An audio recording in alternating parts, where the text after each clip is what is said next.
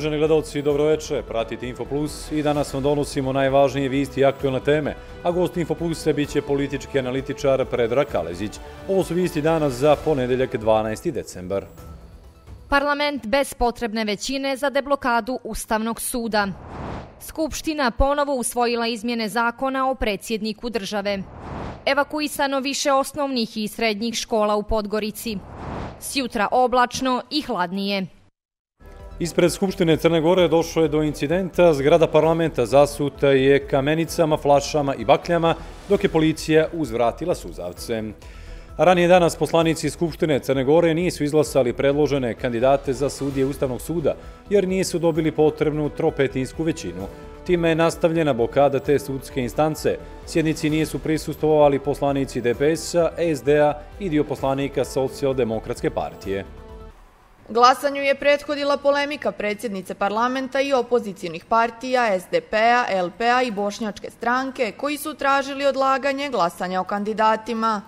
Ako Bismo, ako bismo izabrali svo četvoro sudija, mi kršimo ustav i kršimo e, zakon. E, tako da, molim vas, kolega Striković je rekao, dakle, ovo je u ime kluba SDP, LP, tražim još jedno odlaganje. Mi svi znamo da u ovom trenutku zaista imamo vrlo nezgodnu situaciju jer najveći poslanički klub opozicije nije spreman za kompromis, ne bih ulazila u to da li želi da obstruira proces ili je neki drugi razlog, ali očigledno u ovom trenutku rješenja nema drugog već da nastavimo dalje sa procedurom koja je predviđena za današnje glasanje. Poslanik DF-a Slavene Radunović kazao je da nema razloga za odlaganje o glasanju o sudijama Ustavnog suda. Mi smo sve pokušali iz Demokratskog fronta, apsolutno sve. Prema tome, e, koga nema, nema, nego bih vas zamolio samo da ne pretvaramo zaista ovu, jer imali bi mi svi da pričamo o ovoj tebi, da ne pretvaramo sad ovu raspravu o kandidatima, nego da stavite na glasanje. Poslanik građanskog pokreta URA Miloš Konatar rekao je da danas u Crnoj Gori nema važnijeg pitanja. Preporuka Venecijanske komisije u tački 32 glasi prije svega i najprije kompletirati Ustavni sud i izabrati svo četvoro sudija Ustavnog suda.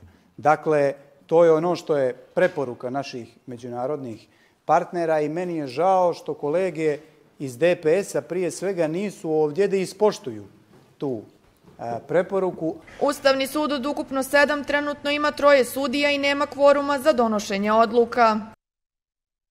Skupština Crne Gore usvojila je po drugi put izmjene zakona o predsjedniku kojim se precizira njegova uloga u predlaganju mandatara. Usvojena je odluka da se ovaj zakonski akt objavi u službenom listu u najhitnijem roku. Glasalo je 44 poslanika, 41 glas za, 3 glasa protiv iz bez uzdržanih glasova, pa objavljujem da je Skupština ponovo izglasala zakon o izmjenama dopunama zakona o predsjedniku Crne Gore. A gost Infoplus je politički analitičar Predra Kalezić. Gospodine Kaleziću, dobroveče i dobrodošli. Dobroveče, pozdrav za vaše gledalce. E, gospodine Kaleziću, na početku vidjeli smo da ni danas nije uspio još jedan pokušaj deblokade Ustanog suda. E, do kada će biti tako i ko je po vama najodgovorniji za takvo stanje? Pa evo, kao što smo vidjeli, ni danas nije uh, uspio pokušaj da se izaberu sudije Ustavnog suda i bojim se da je danas i definitivno demaskiran uh, gospodin Đukanović i sama e, Demokratska partija socijalista kao e, jednostavno može se reći da je proglašena definitivno antievropskom partijom, prvenstveno e, jer e, iz dva razloga. Vi ste vidjeli da je na javnoj sceni zapažen sinkronicitet poruka i unutrašnje javnosti, ali i javnosti Uh, Eh, vanjske javnosti u smislu Evropskog eh, parlamenta i Venecijanske komisije da je nužno izabrati sve četiri sudije Ustavnog suda i da je to deblokirajući mehanizam za rešenje crnogorske krize. A na drugoj strani mi smo vidjeli u danima koji su eh, iza nas da se ipak sa strane sa strane partija koje su većinske sada, znači nudilo izuzetno korektno kompromisno rešenje. Pa smo vidjeli gospodin Radunović, gospodin Imanbegu i na kraju je veoma odgovoran stav e, e, u građanskog pokrata URA gdje je nuđeno da se e, model da se izaberu sudije Ustavnog suda i da se ovaj na neki način izađe i, i, i, i zahtjevima ovaj, opozicije. Imamo protest pokreta ima nas ispred Skupštine Crne Gore danas. Kako vi gledate na taj protest kao i na ranije pomenuto usvajanje zakona o predsjedniku Crne Gore?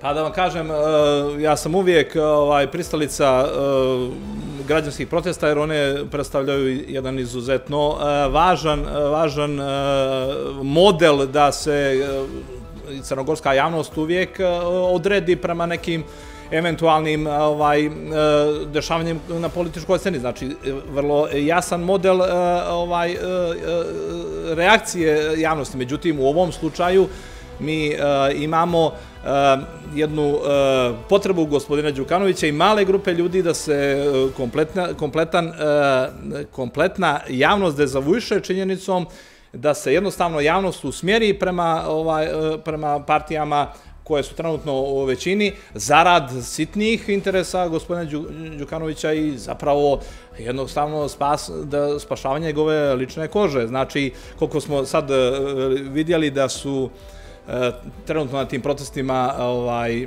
se desilo izvjesno e, zasipanje kamenicama. Ja sam apsolutno ovdje i treba to podcrtati. E, definitivno protiv svakog vida naselja i apsolutno je ovaj potrebno uvijek razgovarati sjesti, razgovarati, nasilja nije e, model za rešavanje bilo kakvog problema.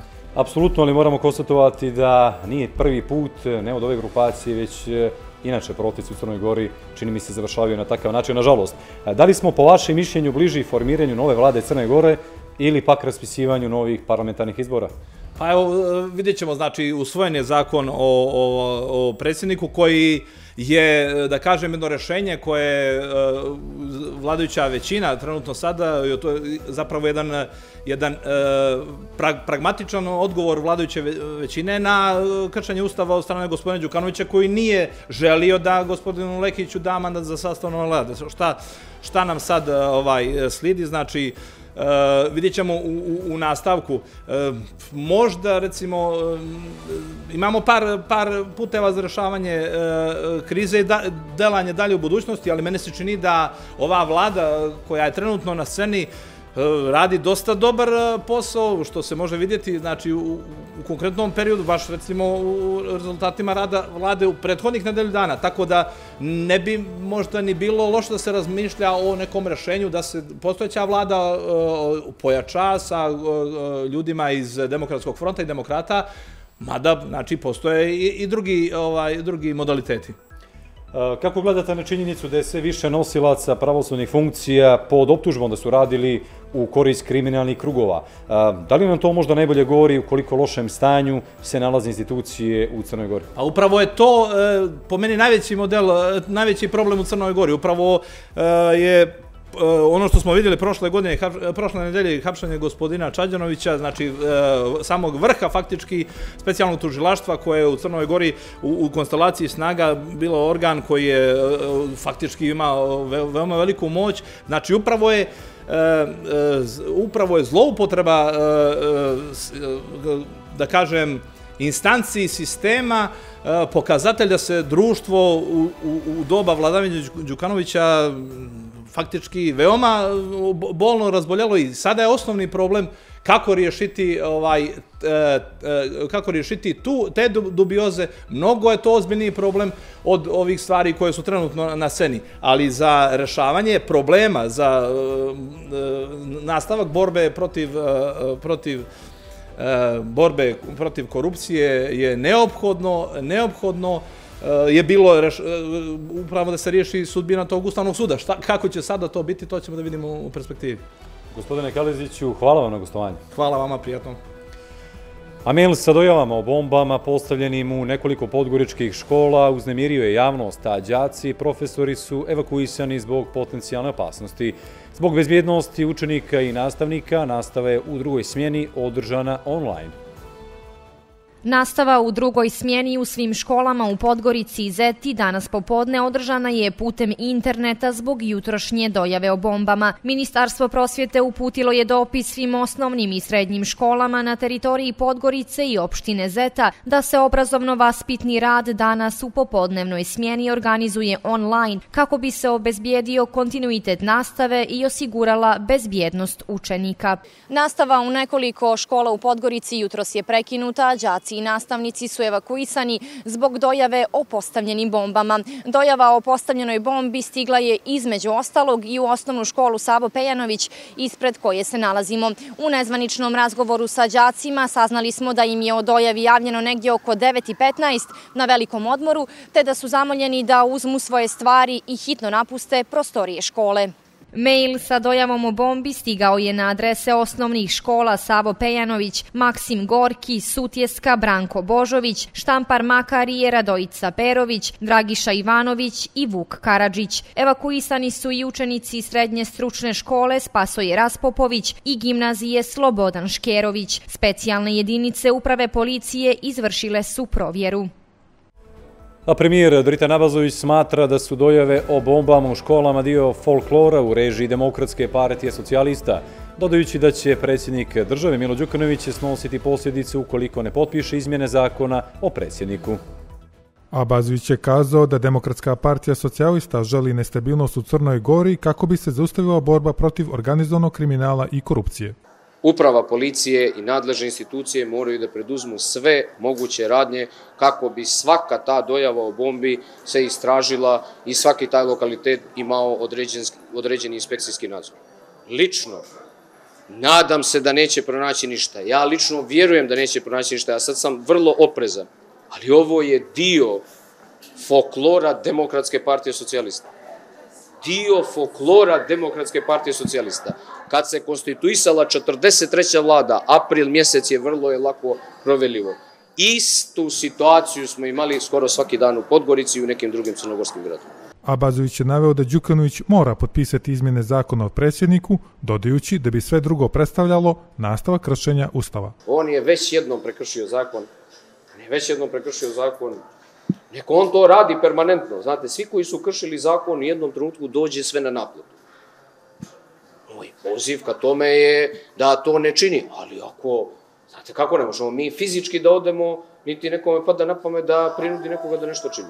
Ako on želi da prekrši, zato što je ustav tu jasan, tu je, tu je procedura, nema, nema jasnije. Ako on ne želi da potpiše, bude spreman da snosi konsekvence.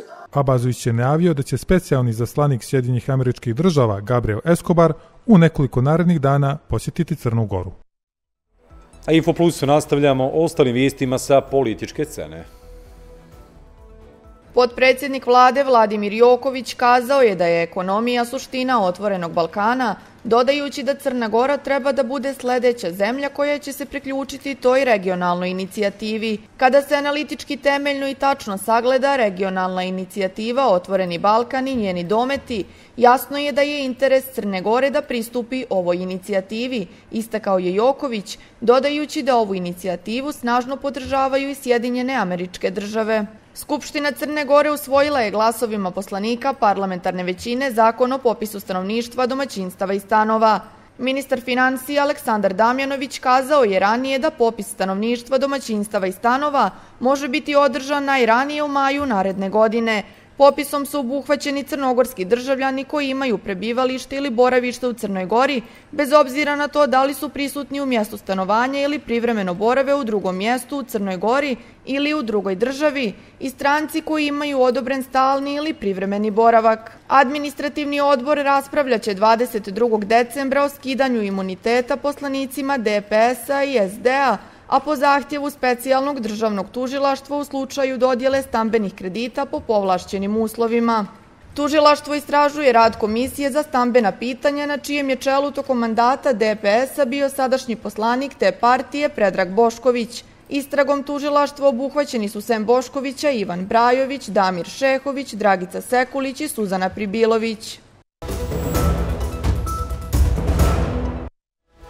A više od polovine građana Crne Gore smatra da je korupcija prisutna u zdravstvu. To je pokazalo istraživanje Centra za monitoring i istraživanje koje je sprovedeno od 1. do 15. novembra na uzor kod 1004 ispitanika u okviru projekta za zdravije zdravstvo. Detaljnije o projektu u narednim minutima. Ova i slični projekti doprinose unapređenju zdravstvenih politika, posebno u dijelu koji se odnosi na sprečavanje korupcije, kako bi sistem funkcionisao tako da pristup zdravstvenim uslugama bude jednak za sve, smatra programski direktor Centra za građansko obrazovanje Petar Đukanović. Vjerujemo da će i ovo današnje istraživanje koje kolege prezentuju e, biti važno donosiocima odluka kao evaluacija onoga što je do sada rađeno u oblasti zdravstva kako bi se dalje vršile reforme ovog sektora koji već duže vremena se suočava zapravo sa izazovima da bude potpuno funkcionalan i na prvom mjestu okrenut on, potrebama onih zbog kojih i postoji, a to su građani. Centar za građansko obrazovanje prva je organizacija koja je pokrenula temu korupcije u zdravstvu, što je ujedno i nastavak njihovih ranijih napora u ovoj oblasti. Opšti cilj projekta je doprinos većem stepenu jednakosti ostvarivanja prava u zdravstvenu i zdravstvenu zaštitu u Crnoj Gori. Ostvarivanju ovog cilja je doprinijeto s provođenjem niza aktivnosti u cilju postizanja nekoliko ključnih rezultata za unapređenje u pomenutoj oblasti. Najprije je sprovedena sveobuhvatna analiza sistema pružanja zdravstvenih usluga i zaštite prava pacijenata u Crnoj Gori, na osnovu kojih će biti predloženi alternativni modeli i politike za unapređenje rada zdravstvenih institucija i zaštite prava pacijenata. Građani mogu da prijave korupciju i povredu prava u zdravstvu putem aplikacije za zdravije zdravstvo koja je dostupna na iOS i Android uređajima kao i na web stranici www.zazdravijezdravstvo.me. Apelacijani sud izrekao je bivšoj predsjednici Vrhovnog suda Vesni Medenici mjeru zabrane napuštanja borovišta i obavezu povremenog javljanja odjeljenju bezbjednosti Podgorica. Iz apelacijanog suda su navjeli da je Medenica upozorena da se, ukoliko prekrši izrečene mjere nadzora, protiv nje može odrediti pritvor. A ostale visti koje su obilježili današnji dan pogledajte u prilogu koji slijedi. Predsjednik Ugande Joveri Museveni imenovao je srpskog biznismena i predsjednika Upravnog odbora Adrija Jadran medijske grupe Bratislava Stojiljkovića za trgovinskog predstavnika te zemlje za jugoistočnu Evropu. Musevini je tom prilikom ukazao na istorijske veze Ugande sa Srbijom, odnosno bivšom Jugoslavijom, koje traju od prvog samita pokreta nesvrstanih, dodajući da će prijateljstvo dvije zemlje biti ojačano u narednom periodu. Ugovor o realizaciji druge faze projekta rekonstrukcije i modernizacije hidroelektrane Perućica potpisan je danas, a cilj projekta je da se produži pogonski vijek te hidroelektrane. Ugovorom je predviđena rekonstrukcija i modernizacija hidromašinske i elektroopreme na agregatima. Time će se omogućiti optimalno upravljanje elektranom i vodenim potencijalom u realnom vremenu, kao i planiranje i optimizacija rada elektrane. Vlada Crne Gore namjerava da nastavi sa otkupom akcije Luka Bar i u što kraćem roku stvori uslove za realizaciju transakcije, kazali su iz Ministarstva financija. Vlada je danas na Montenegro Berzi kupila dodatnih 1,4 miliona akcija Luke Bar po ukupnoj cijeni od 1,26 miliona eura i tako postala dvotrećinski vlasnik kompanije. Predsjednik odbora direktora regionalnog vodovoda Zoran Lakušić uputio je čelniku operativnog međuresornog tima Stevanu Gajeviću zahtjev da učini sve što može radi zaustavljanja svih privrednih aktivnosti u koritu i priobalnom području rijeke Morače, kao i uklanjanja svih nelegalno podignutih objekata na tom području. Prema dopisu Lakušića, imajući u vidu da operativni međuresorni tim ima zadatak da sagleda stanje i predloži mjere u borbi protiv nelegalne eksploatacije riječnih nanosa, nanosa, posebno je alarmatno stanje u koritu rijeke Morače.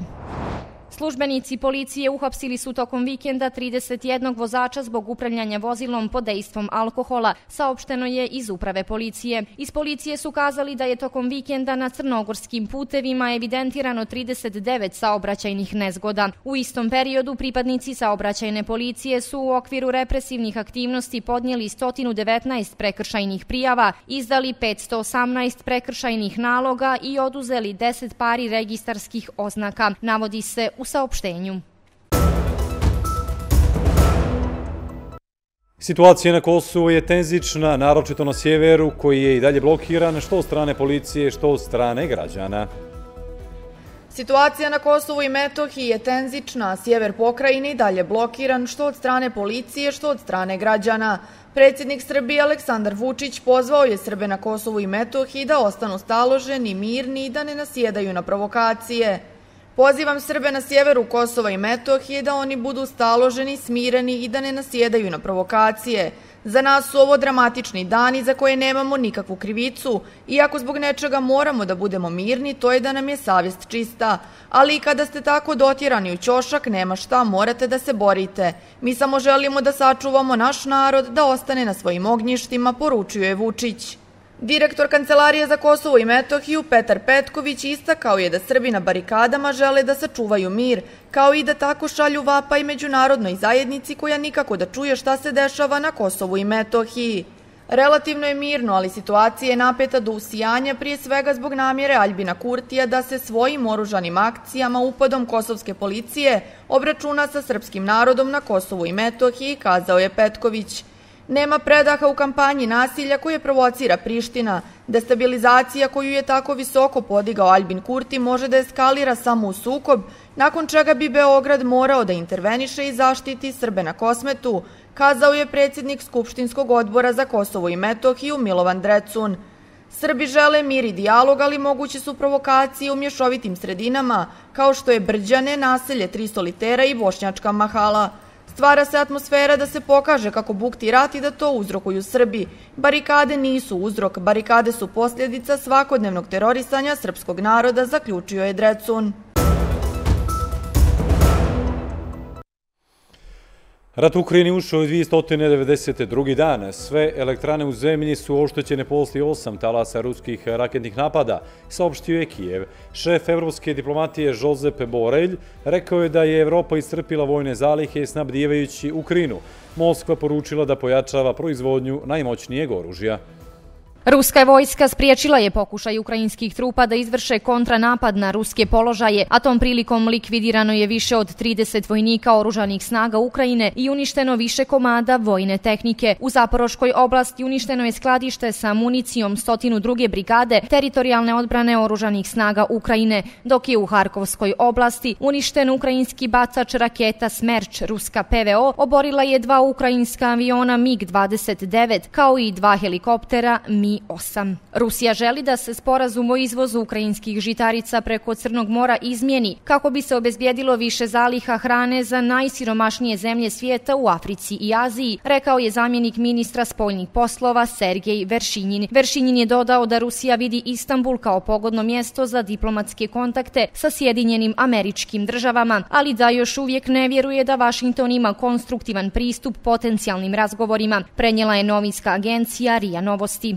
Vlasti u Kijevu naredile su sprovođenje kaznenih mjera za sedam visokih crkvenih velikodostojnika Ukrajinske pravoslavne crkve koja ima više vjekovne veze sa Moskvom i koja je pod sve većim pritiskom od početka rata u Ukrajini 24. februara. Prema nalogu koji je izdao Savjet bezbjednosti Ukrajine, svim sveštenicima je zapljenjena imovina i oni podliježu zabrani niza ekonomskih i pravnih aktivnosti kao i de facto zabrani putovanja, navodi Britanska agencija. Predsjednik predsjednik Ukrajine Volodimir Zelenski kaže da su specijalizovane ekipe angažovane na hitnim popravkama elektroenergetske mreže nakon ruskih napada i ublažavanju nestašice struje u mnogim dijelovima Ukrajine, posebno u Crnomorskoj luci Odesi. U ovom trenutku postalo je moguće dijelimično obnoviti snabdjevanje strujom u Odesi i drugim gradovima i okruzima u regionu Odese, rekao je Zelenski, naglašavajući da se čini sve kako bi se maksimalno osposobila elektroenergetska mreža oštećena u ruskim vazdušnim udarima.